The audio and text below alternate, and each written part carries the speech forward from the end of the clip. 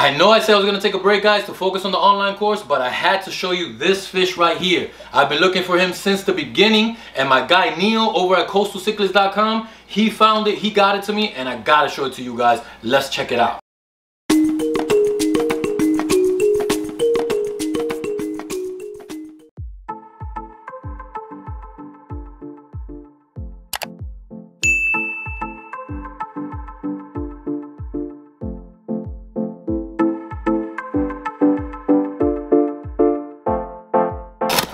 Check that out.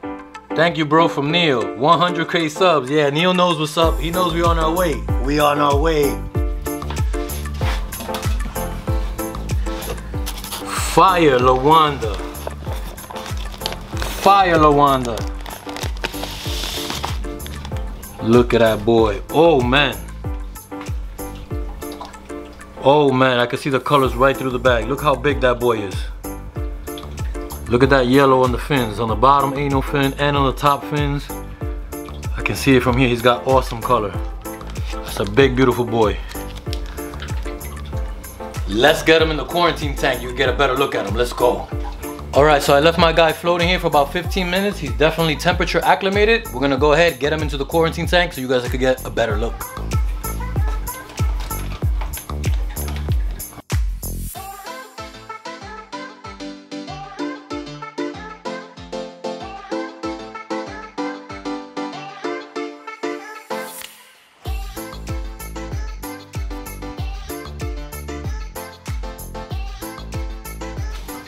Always wet your hands, guys, before you handle fish. You don't want to handle fish with dry hands.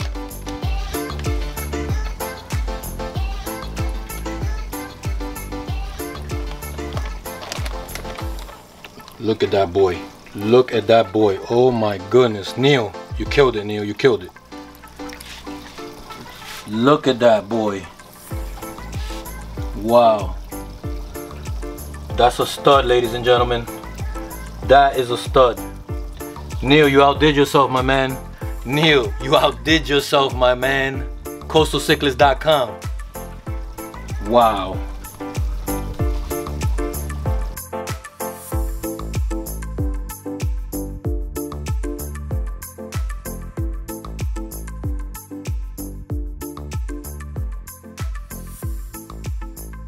Make sure you check out the channel for the next video when this guy is in the main tank with the rest of the boys. This guy's gonna be a stunner. Neil, thank you, bro. Make sure everybody, you go check out coastalcichlids.com.